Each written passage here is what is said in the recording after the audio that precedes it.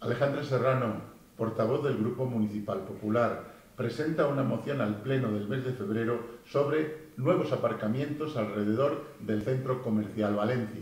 Sí, nosotros para este pleno ordinario del mes de febrero y tras reunirnos con comerciantes y clientes, eh, llevamos una proposición instando al equipo de gobierno a que se puedan reservar determinadas plazas de aparcamiento en las calles contiguas al Comercial Valencia los sábados de 9 a 2 para que se puedan aparcar temporalmente los clientes y facilitar así las compras. Es una reivindicación, insisto, que, han, que nos han hecho, nos lo hicieron en campaña electoral y ahora eh, se ha vuelto a producir y nosotros, como somos eh, la voz del ciudadano, pues lo trasladamos al Pleno como no podría ser de otra manera. El Partido Popular, el Grupo Municipal, como cualquier otro grupo municipal entendemos del Pleno, eh, es para nosotros es primordial el fomentar y apoyar al comercio local, al comercio de proximidad. Es necesario que tengan menos impuestos, agilizar la burocracia, que los trámites sean eh, menos eh, farragosos, intentar hacer campañas específicas para el comercio